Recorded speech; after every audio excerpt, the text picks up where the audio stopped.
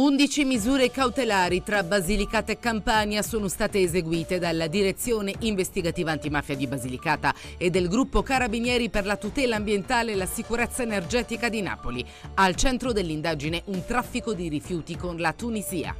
Mentre il capo clan Savinuccio Parisi risponde alle domande del GIP dicendo di non aver mai conosciuto l'ex consigliere regionale, in una intercettazione ambientale emerge che Giacomo Olivieri si sarebbe più volte definito intoccabile. Questi gli ultimi dettagli dell'inchiesta della DDA Codice Interno che lunedì ha portato alla luce la rete tra mafia, politica e colletti bianchi nel capoluogo pugliese con 135 arresti.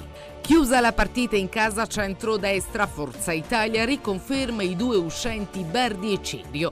Ha prevalso il buonsenso, ha detto Antonio Tajani. Il centro-sinistra, dopo la vittoria in Sardegna, guarda con più attenzione al campo largo. Buongiorno e bentrovati, consueto appuntamento con l'informazione interregionale di Antenna Sud. 16 le persone indagate, 11 le misure cautelari tra Basilicata e Campania sono state eseguite dalla direzione investigativa antimafia della Basilicata del gruppo Carabinieri per la tutela ambientale e la sicurezza energetica di Napoli. Al centro dell'indagine un traffico di rifiuti con la Tunisia. Francesco Cutro. L'indagine, coordinata dalla Procura distrettuale antimafia di Basilicata e condotta dai carabinieri del Nucleo Operativo Ecologico di Salerno e dalla DIA di Potenza e che ha portato a 11 misure cautelari, costituisce lo sviluppo e l'esito di una complessa attività investigativa che ha consentito di individuare vaste operazioni di trasferimento all'estero, soprattutto in paesi africani, di rifiuti con elusione dei controlli e conseguenti danni all'ambiente e alla salute dell'uomo ad opera di soggetti italiani.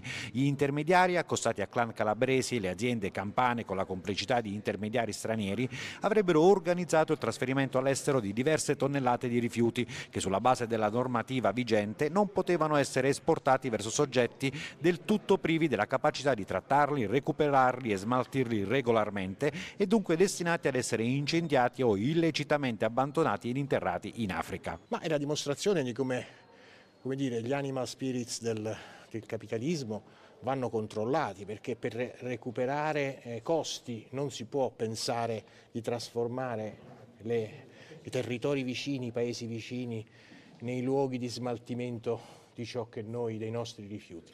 Per quanto riguarda lo smaltimento illecito in Italia, come confermato dal tenente colonnello Starace, sembrerebbe che l'area maggiormente utilizzata dalla malavita organizzata per il seppellimento sia quella del Foggiano. Esattamente sì, le evidenze investigative di questi ultimi periodi, eh, le segnalazioni che ci arrivano da quelle aree, dalle forze di polizia a competenza generale, le indagini che abbiamo in corso fanno appunto propendere per questa che più che un'ipotesi io ritengo sia ormai una certezza.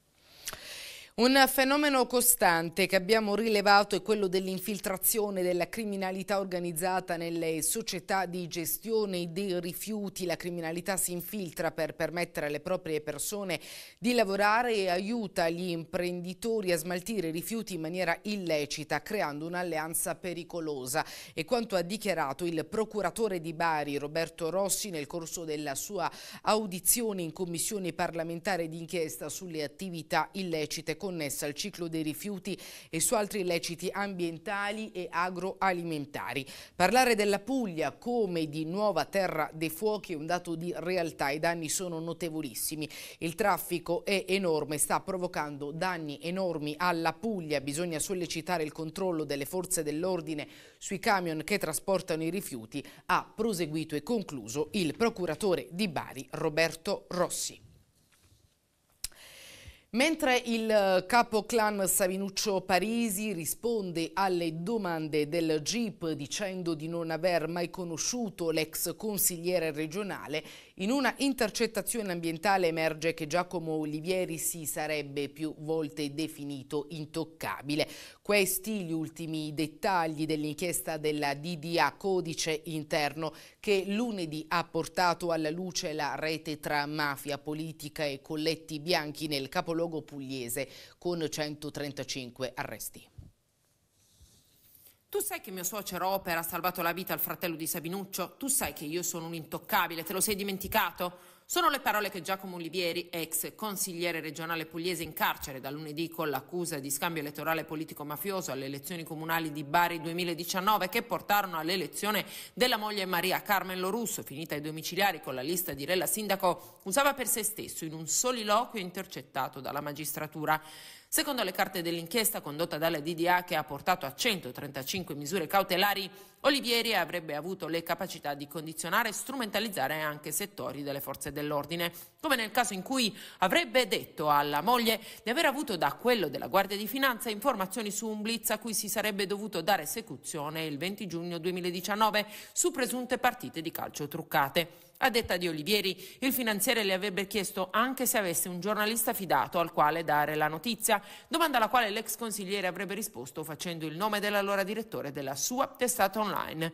Dal punto di vista dei clan emergono nuovi dettagli sulla capacità dei parisi di entrare nelle ex municipalizzate, l'AMTAB, l'azienda dei trasporti pubblici, prima tra tutti. A raccontare agli inquirenti i meccanismi con cui i parisi avrebbero usato l'azienda come un ufficio di collocamento è l'ex dipendente e collaboratore di giustizia Nicola De Santis. Assumevano i raccomandati vicino ai clan, ha spiegato nessuna speranza per i laureati. E proprio dal fronte Parisi il capoclan Savinuccio ha deciso di rispondere alle domande degli inquirenti dichiarando dichiarando di non aver mai incontrato né conosciuto l'avvocato Giacomo Olivieri o suo suocero, il medico Vitolo Russo, e di non aver mai avuto alcun ruolo nella faida di Iapigia del 2017 né nella gestione del clan negli ultimi anni.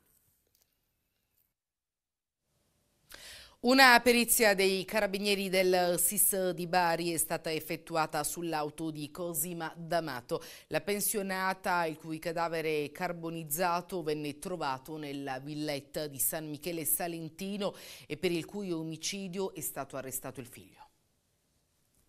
A oltre cinque mesi dall'omicidio non è ancora chiaro in che modo Alberto Villani, 47 anni, abbia ucciso la madre Cosima D'Amato, di 71, il cui cadavere venne trovato carbonizzato il 20 settembre dello scorso anno nella sua villetta alla periferia di San Michele Salentino. L'esame autoptico ha infatti rivelato che la donna era già morta quando il figlio ha dato fuoco all'appartamento. Nella sua trachea non c'erano tracce di monossido di carbonio, segno che già non respirava respirava più, per appurare se sia stata uccisa in casa o se invece l'omicidio sia avvenuto nella Fiat Panda della donna, con la quale più volte Villani è stato visto muoversi prima e dopo il delitto, il PM Alfredo Manca ha chiesto ai carabinieri della sezione investigazioni scientifiche di Bari di effettuare un'ispezione accurata dell'utilitaria alla ricerca di eventuali tracce biologiche collegabili con il delitto. La vettura si trova sotto sequestro all'interno della caserma dei carabinieri della compagnia di San Vito dei Normanni. Ai rilievi ha preso parte anche la consulente genetista Giacomo Mongelli, che si era già occupata di estrarre e comparare il DNA del corpo carbonizzato dell'anziana per raggiungere la certezza sulla sua identità. All'esito della perizia è probabile che la Procura chiuda le indagini preliminari e chieda il rinvio a giudizio di Villani, che già era stato arrestato perché quell'anziana madre, prima di ucciderla, l'aveva più volte picchiata selvaggiamente. L'uomo è in carcere dal giorno del delitto. Continuano le indagini riguardo la morte di Mattia Ottaviano, il collaudatore 36enne di Tuglie, morto in seguito ad uno scontro sulla pista del Nardò Technical Center. La Guardia di Finanza ha eseguito una perquisizione informatica.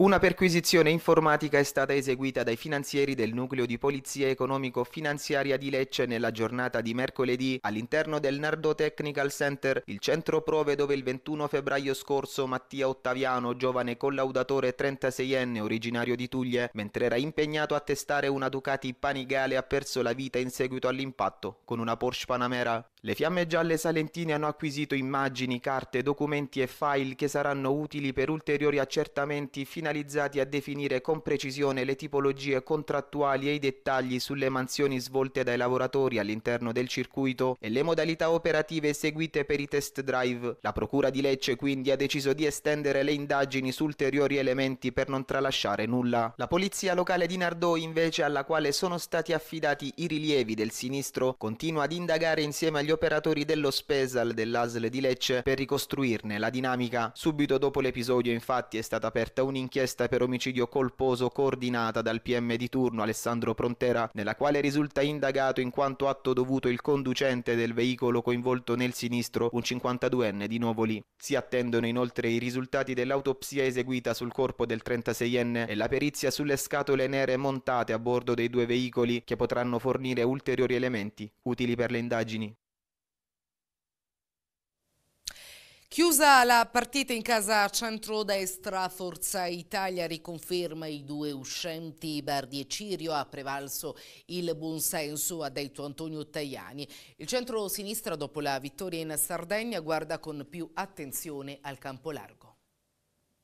I presidenti di Basilicata, Piemonte ed Umbria che hanno ben governato saranno i candidati di tutto il centrodestra unito ai prossimi appuntamenti elettorali regionali. Con questa nota congiunta il centrodestra mette la parola fine alle polemiche, soprattutto dopo l'amara sconfitta sarda. Bardi, Cirio e Tesei vengono dunque riconfermati. Però rafforza la coalizione, rafforza i candidati, è una candidatura fatta con anticipo, permette di pianificare la, la campagna elettorale di allargare anche i consensi, di allargare, allargare le aggregazioni. Noi guardiamo a tutte le forze di centro per quello che riguarda i nostri due candidati che sono Bardi e Cirio, eh, allargare i confini della coalizione di centrodestra per eh, avere noi il campo più largo eh, possibile.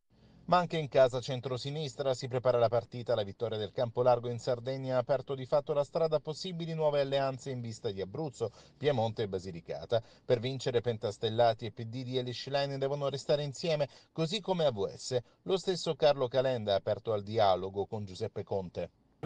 Ci stiamo assolutamente lavorando e quindi noi cercheremo di favorire gli accordi ovunque possibile, ma adesso più che di Piemonte e Basilicata parliamo di Abruzzo perché la, la competizione elettorale più imminente dobbiamo assolutamente concentrarci con tutto il nostro impegno, tutta la nostra credibilità per l'Abruzzo. Uniti si vince e questa è la strada da percorrere. Adesso abbiamo da affrontare la grande sfida dell'Abruzzo, si può vincere in Abruzzo, Alleanza Verdi e Sinistra è una forza determinante per la futura alleanza e questa destra in grande, grande difficoltà, litigano tra di loro, il ministro Crosetto attacca Salvini, Salvini attacca il ministro Crosetto, sono giunti al capolinea. Nuova fumata nera in Regione Puglia, bisognerà aspettare la prossima settimana per capire se il centro-sinistra troverà o no la sintesi sulle commissioni consigliari di via Gentile. In cima ai nodi da sciogliere c'è la posizione dei centristi di azione. È ancora fumata nera in regione, bisognerà aspettare la prossima settimana per capire se il centro-sinistra troverà o meno la sintesi sulle commissioni consigliari di Via Gentile. Il consiglio delle scorse ore è stato rinviato, ma il lavoro della massima assemblea non è fermo, ha precisato a più riprese la presidente Loredana Capone. Il risultato, in compenso, non cambia. Il liberi tutti ufficiale è scattato ormai un mese fa, le presidenze sono scadute ormai da otto mesi visto che andrebbero rinnovate come prevede lo statuto e la maggioranza chiede chiede tempo. D'altro canto, nelle precedenti due convocazioni è mancato il numero legale, costringendo il centrodestra a chiedere di riunire gli organismi a oltranza con tanto di accusa incrociata e conferenza stampa della minoranza. Il primo dei nodi resta quello della Commissione Bilancio, ad appannaggio di Fabiano Amati, leader di Azione, gruppo che non viene considerato in maggioranza dal resto del centro-sinistra, nonostante l'intergruppo con i civici di Per la Puglia, tanto più dal momento che a Brindisi governa con il centrodestra, quindi PD, Civiche e 5 Stelle. Chiedono che la presidenza venga assegnata comunque ad altro consigliere, meglio se dei Dem, e lasciando la seconda commissione a Con. Il governatore Michele Emiliano Media, con le comunali alle porte, potrebbe essere poco cauto rompere con i centristi ancora qualche giorno e poi si cercherà di nuovo la soluzione. Discutere dell'ipotesi di piattaforma sindacale per il rinnovo del contratto nazionale dei metalmeccanici 2024-2027. Questo il tema al centro del Consiglio generale della FIM CISL Basilicata che si è svolto a Potenza. Una piattaforma ambiziosa che interessa oltre un milione e mezzo di lavoratori in Italia che prepara le condizioni per il rinnovo del contratto nazionale dei metalmeccanici, puntando su vari aspetti, due su tutti, salario e orario di lavoro, ma anche formazione, sicurezza, parità di genere, premi di produttività, diritto allo studio, ferie, permesse e altre condizioni. Di questo si è discusso a Potenza durante il Consiglio generale della FIM CISL Basilicata. Il nostro Consiglio generale di oggi con la RSU eh, parlerà e entrerà nel merito dell'ipotesi della piattaforma. Eh, I punti sono molti, dalla sicurezza al salario oppure all'orario. La cosa che dà subito agli occhi è il discorso della, della riduzione dell'orario del lavoro. Noi da anni eh, stiamo parlando che ci può essere una sperimentazione per capire le aziende che lo possono fare e le aziende che devono attendere finché si potrebbe fare. Questo darebbe forza a, alle famiglie, eh, vivere diversamente con questi lavoratori che sono impegnati o sulla catena di montaggio o altre lavorazioni e quindi assillati dal lavoro. Lavoratori fanno questo tipo di, di richiesta su questo contratto, cioè l'aumento salariale che è la cosa importante diciamo, che eh, serve per mantenere uno status eh, per quanto riguarda eh, la parte economica e poi soprattutto per quanto riguarda la riduzione dell'orario di lavoro che oggi diciamo, è diventato forse la parte fondamentale di questo contratto. Camera di Commercio Taranto Brindisi inizia l'era del presidente Vincenzo Cesareo che ai nostri microfoni dichiara sto realizzando un sogno.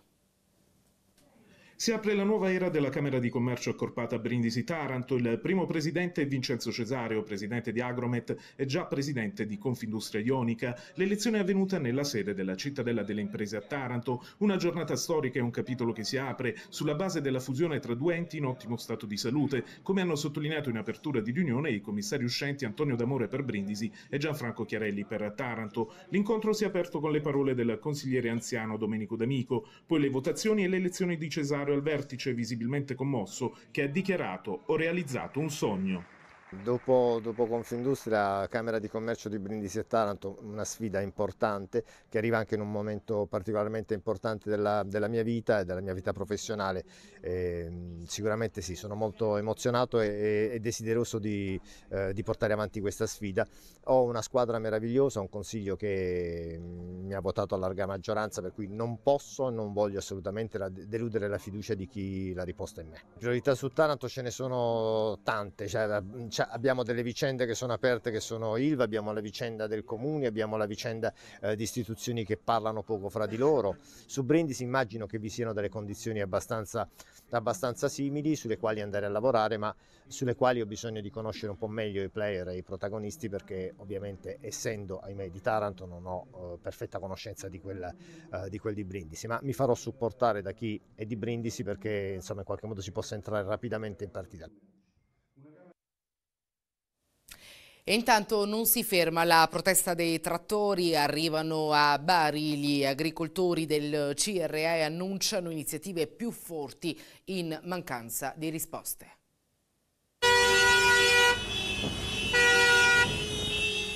Sono arrivati da Noci lungo viaggio per i trattori e gli agricoltori del CRA, Comitato eh, Riuniti Agricoltori, per rivendicare eh, i loro diritti, chiedere aiuto al governo, lanciare un appello e sensibilizzare tutte le istituzioni, anche quelle regionali eh, e locali, puntando anche sulla diversità delle caratteristiche del loro lavoro eh, tra i diversi eh, territori e quindi eh, chiedendo un impegno eh, sinergico ma anche specifico in rispondenza delle peculiarità locali. Stop alle imposizioni della comunità europea sui nostri terreni Ogni, ogni, zona d'Italia ed Europa ha delle peculiarità, non si può generalizzare. Primo. Per secondo punto, non, pre, la giusta remunerazione ai nostri prodotti. Noi non possiamo continuare a produrre sotto costo, non ce la facciamo più e non ci fermeremo qui. Inoltre la sburocratizzazione a tutti i livelli eh, agricoli e non de, delle pratiche di quant'altro ci circonda. In mancanza di risposte, eh, qual è il programma? Continuerete? Quali, quali, altri, quali altre direzioni percorrerete? Continueremo certamente sì, e non più con proteste pacifiche, bloccando porti e, e strade. Assemblea lavoratori in gallina di Brindisi, un'avvertenza che parte da lontano e che tocca i temi della sicurezza sul lavoro. Non è che dobbiamo aspettare che succeda il morto per poi piangerne le conseguenze, quindi chiediamo un immediato intervento degli organi preposti, in primis l'acquedotto, a mettere fine a questa mattanza, perché di una mattanza si tratta di ore su pochi lavoratori e tra l'altro sono stati pure licenziati alcuni lavoratori a tempo determinato dopo un anno di lavoro perché l'azienda vuole fare cassa e carica tutto su pochi lavoratori a tempo indeterminato. Questa è un'ingiustizia che il governo della città, l'acquedotto e tutti i preposti devono risolvere. E questo è il grido d'allarme lanciato dai sindacati di categoria Fenial Will, Filca Cisl e Filea CGL in relazione alla vertenza in gallina che parte da lontano e che non ha ancora trovato una soluzione con un accordo sindacale che preveda la tutela dei lavoratori dal punto di vista della sicurezza ma anche dal punto di vista economico. Avete visto Corso Umberto, avete visto le zone dove hanno fatto questi lavori dove naturalmente i lavoratori non dico hanno fatto 24 ore ma quasi e si legge dalle loro app perché scaricano le app sul telefono delle presenze. Addirittura spesso e volentieri non si fa, fa fermare la sosta agli stessi lavoratori per dare continuità alle attività.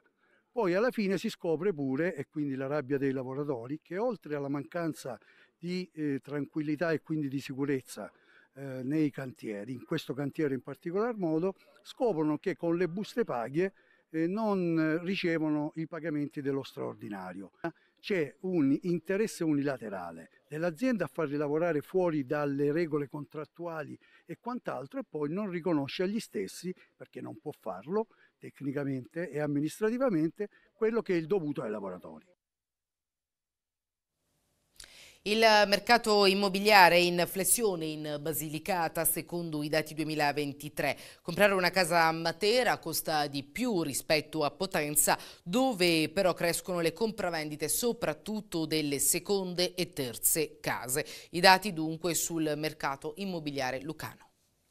Un mercato, quello immobiliare in Basilicata, che presenta una flessione rispetto al 2023 con un 10% in meno di compravendite. Sono i dati resi noti a potenza dalla Federazione degli Agenti Immobiliari Professionali che ha registrato una diminuzione delle transazioni calcolate in 2.969 nei primi nove mesi dell'anno passato. Noi abbiamo fatto una fotografia dei, eh, dei valori del, del mercato immobiliare con un confronto con gli anni passati. La richiesta di acquisto c'è, c'è sempre stata e continua ad esserci perché la casa è come il pane e quindi le persone ne hanno necessità. La casa è richiesta e i tassi, seppur sono cresciuti un po', l'anomalia non è i tassi attuali, l'anomalia erano i tassi precedenti che erano intorno all'1, all'1,50.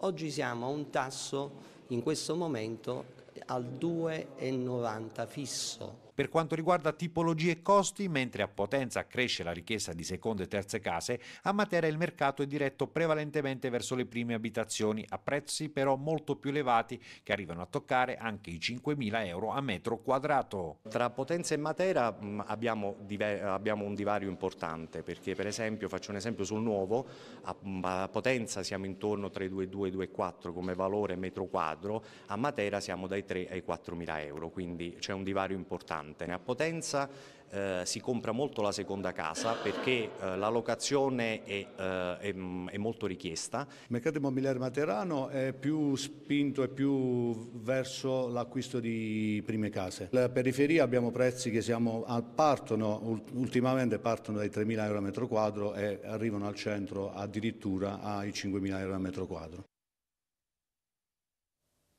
Il presidente della FIGC e il governatore di Puglia Michele Emiliano hanno effettuato un sopralluogo allo stadio di Faggiano. Individuare una soluzione consona alle esigenze della tifoseria e della squadra durante il biennio di ristrutturazione dello Iacovone. Il Taranto deve restare allo Iacovone, questa la volontà comune. La struttura di Faggiano potrà tornare utile per gli allenamenti. Il Taranto deve continuare a giocare a Taranto anche durante il periodo di ristrutturazione dello stadio Erasmo Iacvone, una linea guida che accomuna le istituzioni. A Faggiano per un sopralluogo all'impianto sportivo c'era il presidente della Federazione Italiana Gioco Calcio, Gabriele Gravina, il governatore di Puglia, Michele Emiliano, oltre al sindaco della cittadina e provincia di Taranto, Cardea, e i vertici del Taranto Football Club, il presidente Giove, il vicepresidente Sapia. Giocare allo Iacovone, la cui ristrutturazione dovrà essere essere effettuata a settori, mentre qualora non dovesse essere possibile disputare gli allenamenti al campo B, allora l'ipotesi Faggiano prende corpo. E adesso la, dobbiamo concentrare l'attenzione eh, su due fatti importanti, che il Taranto possa giocare all'interno dello stadio anche con una eh, limitazione dei suoi tifosi eh, per non snaturare, il, certo. sradicare dalla sua naturale sede la passione di tanti tarantini e contemporaneamente attivare tutti i meccanismi e qui anche noi faremo la nostra parte come ho già detto in altre occasioni affinché ci sia la realizzazione di un centro sportivo. Visto il progetto mi sembra un progetto molto bello. Ovviamente sono qui con lo stesso scopo che è principalmente quello di consentire ai tifosi tarantini di, andare a vedere le partite del Taranto a Taranto. La Regione Puglia è disponibile, immagino, assieme ad altri soggetti, per realizzare un progetto eh, che è già in corso con il Comune di Faggiano, tra il Taranto e il Comune di Faggiano, per la realizzazione di qualche cosa di più. Il Taranto deve giocare allo Jacoboni facciamo lo stadio a settori, come è stato fatto in tutte le parti d'Europa, in tutte le parti del mondo, con una ristrutturazione graduale e si fa. Poi è chiaro ed evidente, io non sono nessuno, io sono solamente il presidente del club, deciderà il governo, deciderà Bodi, ci sarà un tavolo di concertazione, di riunione, c'è il commissario Ferrarese. Io ho messo a disposizione tutto ciò che possiamo fare, eh, uffici comunali, per far sì che il Taranto possa eh, diciamo, eh, vivere momenti migliori. Ed è tutto il nostro TG interregionale termina qui, grazie per averci scelto, per averci seguito. Tra pochissimo l'informazione dedicata a Bari, Bat e Foggia. Rimani connesso, scarica gratuitamente dagli store o tramite QR code la nuova app di Antenna Sud più veloce e con più funzioni per essere aggiornato in tempo reale sulle news di Puglia e Basilicata, seguire in streaming i nostri programmi o rivederli on demand da qualsiasi dispositivo.